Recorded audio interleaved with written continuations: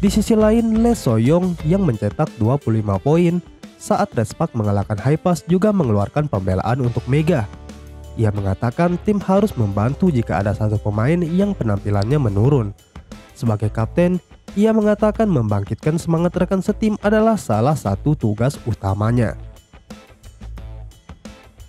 Alasan Mega jarang dapat bola dan mencetak sedikit poin pada pertandingan itu, Mega tak terlalu tampil garang dan bahkan sempat diganti sebelum masuk kembali.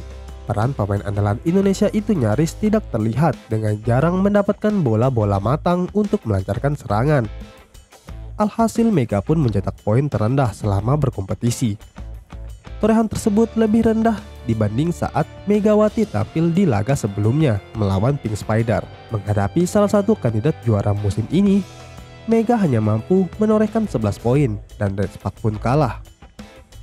Mega selalu menjadi magnet bagi tim lawan sejak penampilan gemilangnya. Tak heran setiap lawan sudah mengevaluasi bagaimana cara Mega menyerang. Hal itu kemudian dimanfaatkan sang pelatih untuk lebih mendorong sang kapten dan Giovanna Milana tampil lebih baik dalam menciptakan poin. Dan benar saja, pada pertandingan terakhir, keduanya menjadi penyumbang angka terbanyak. Bahkan sang kapten pun menyandang predikat MVP pada laga itu. Ada momen di mana ketika kami sedang unggul, kami langsung runtuh karena kami tim olahraga. Jika ada satu pemain yang menurun, maka itu menyebar dengan cepat. Ucap sang kapten dikutip dari The Spike. Pelatih ingin aku memainkan peran menjaga tim tetap fokus dan tidak runtuh. Jika aku bermasalah, ada kalanya sulit untuk bangkit.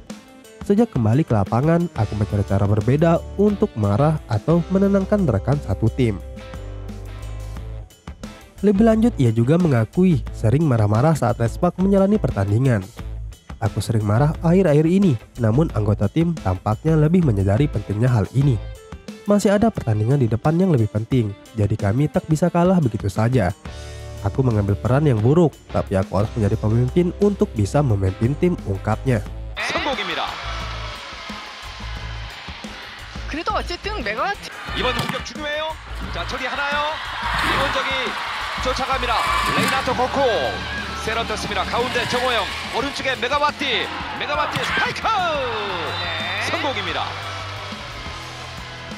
투수로부터 공격을 좀 풀어가야 될 필요가 있겠고 네. 자 이거는 커버가 좋았고요. 혼신을 다해서 올렸는데요. 네, 일단은 1대1을 만들어줬습니다. 좋은 토스예요. 20대 22. 받아올리는 자 김세인 선수고요. 어디? 전위 공격 맞맞고 터치아웃 네. 만드는 메가바티. 자, 좋은 공격이 됐고 자, 김채원 선수는 매겨줘야 됩니다. 자, 안쪽 스윙이 좋은 메가바티 선수기 때문에. 네. Siapa yang tak kenal dengan pemain senior timnas Korea Selatan yang mempunyai kisah koneksi gemilang dan ungkap rahasia sukses dengan Mega di Liga Voli Korea? Pemain asli Korea Selatan ini buka-bukaan soal Mega di Red Spark. Seperti diketahui, Mega menjadi salah satu pemain andalan Red Spark bersama dengan pevoli asal Amerika Gia. Keduanya bahu-membahu mendulang poin untuk Red Spark di ajang Liga Voli Korea. Yum Hyuson membagikan pandangannya tentang koneksi yang erat antara dirinya dan Megawati. Mega yang menjadi salah satu spiker utama dari Red Spark. Salah satu senior Mega di Korea, Yum Hee-son, berbicara tentang peranannya sebagai setter dan hubungannya dengan Megawati serta Gia. Yum Hee-son mengatakan, Aku percaya bahwa pertandingan sangat penting bagi kami untuk menuju playoff. Jadi aku bermain dengan segala kemampuan. Sebagai seorang setter, kemampuanku dalam menerima dan mengumpan bola kemungkinan besar aku untuk mengoptimalkan peran Mega dengan baik. Ia menambahkan, pengaturan waktu menjadi kunci dalam serangan cepat dan itu membutuhkan komunikasi yang baik antara aku dan penyerang. Kami terus berlatih dan berkembang. Kami menyadari bahwa perjalanan masih panjang. Aku berharap dapat terus menunjukkan performa terbaik pada pertandingan mendatang. Yum Hyun sendiri adalah seorang setter berpengalaman yang telah memperkuat timnas voli putri Korea sejak 2014. Ia pernah meraih penghargaan sebagai best setter di Olimpiade 2020, menunjukkan kualitas dan kontribusi dalam dunia voli. Megawati dengan menjadi perbincangan hangat di berbagai media baik di Korea Selatan maupun di Indonesia. Kecemerlangan Mega bersama klub barunya Respak didukung oleh setter terbaik Korea, yaitu Yim Hyuson. Berkat umpan-umpan yang dimanjakan oleh Yim Hyuson berhasil membuat Mega meraih MVP. Yim Hyuson sendiri terbilang pemain yang sudah banyak pengalaman. Terbukti ia banyak menyabet penghargaan sebagai atlet bola voli. Memiliki segudang pengalaman bersama klub-klub Korea, Yim Hyuson juga memiliki cukup banyak prestasi sepanjang karir, dari penghargaan individu seperti pesetter pada turnamen kelompok umur. Di tahun berikutnya, yakni 2019, ia kembali menyebut penghargaan sebagai pesetter. Di kompetisi profesional, Yim Hyo-sun lagi-lagi meraih penghargaan sebagai best setter di Liga Voli Korea selama 4 musim berturut-turut. Kemudian pada tahun 2019, Yim Hyo-sun bergabung dengan klubnya yang sekarang yakni Red Spark dan kini menjadi tandem pevoli Indonesia Megawati. Berkat segudang pengalaman dan prestasinya yang diraih, Yim Hyo-sun juga diperoleh sebagai mentor di tim nasional bola voli putri Korea. Pemain dengan postur 177 cm itu pun selain lihai dan agresif di lapangan, ternyata ia juga dikenal sebagai pemain cantik hingga punya panggilan kesayangan dari rekan setimnya maupun timnas yakni sebutan si Imut. Meski sudah menginjak kepala tiga, penampilannya masih terbilang seperti atlet yang masih muda, memiliki wajah cantik ala-ala cewek Korea, membuat Yim Hyun menjadi pemain idola. Teman-temannya di tim nasional sering memanggilnya karena perawakannya yang menarik dan selalu ceria.